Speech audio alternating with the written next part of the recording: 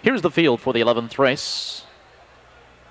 11th race, fillies and mares open. Pacers racing one mile per $6,500. The five horse scratch. Number one, waiting for you on with the Hall Investment Company of Logan Dick Brandt trains. Dave Myers drives. The two, Jet Diamond, held by Marlon Nixon of Springboro. Lanny Merriman, the trainer driver.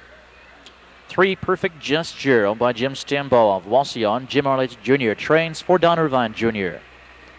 The four horses illegally parked, shown by Dan Russo of Westerville and Robert Parker of Texas. Mike Epler trains, Jeff outdrives. Five is scratched. Number six, Mudges Allisa Gail, owned by Martin Racing Inc. of Germantown. Virgil Morgan Jr. trains, Brad Hanners is up. And the seven, Sweet Tradition.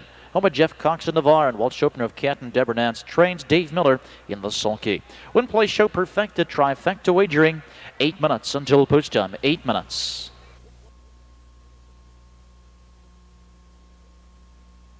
11th race open. Fillies and Mares on the backstretch, approaching the start.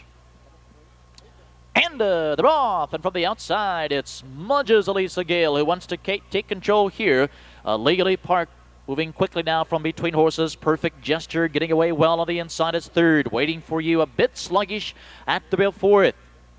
Sweet Tradition hunting a seat fifth on the outside. At the rail and racing a sixth, it's Jet Diamond around the first turn. Illegally parked with Fout. Now the leader. Perfect gesture. Letting her go for cover seconds. And Mudges Allisa Gail looking to duck in here third, but now she comes back to the outside. Opening quarter, 26 and 2.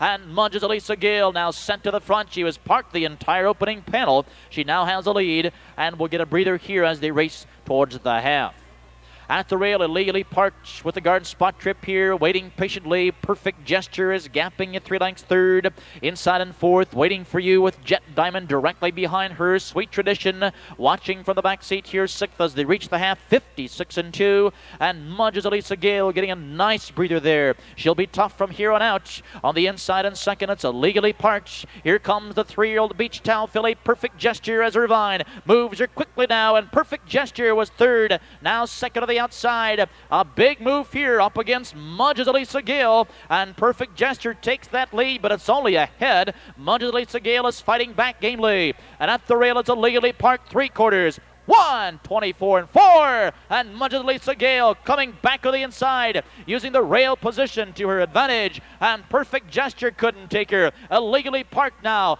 At the rail is third. Less than an eighth of a mile ago. And down the stretch they come. Mudges Allisa Gail has a lead. Illegally parked is right there within striking distance. Here comes waiting for you and perfect gesture still there and coming back. But it's Mudges Allisa Gail. Home free, perfect gesture. Second, it won 53 and 1.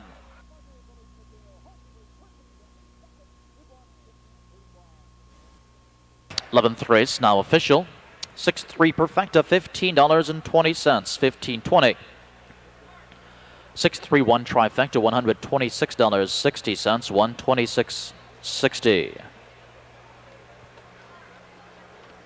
Trackside, the official winner, the Fillies and Mares Open, number six, Mudges Allisa Gail, a six-year-old Ohio-bred daughter of Good to See You from the silent majority mare, Mudges Shannon.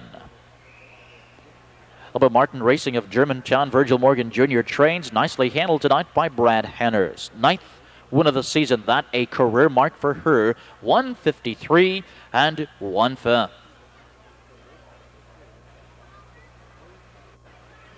Eleventh race order finish waiting for you. Three Jet Diamond six. Perfect gesture two. Illegally parked four.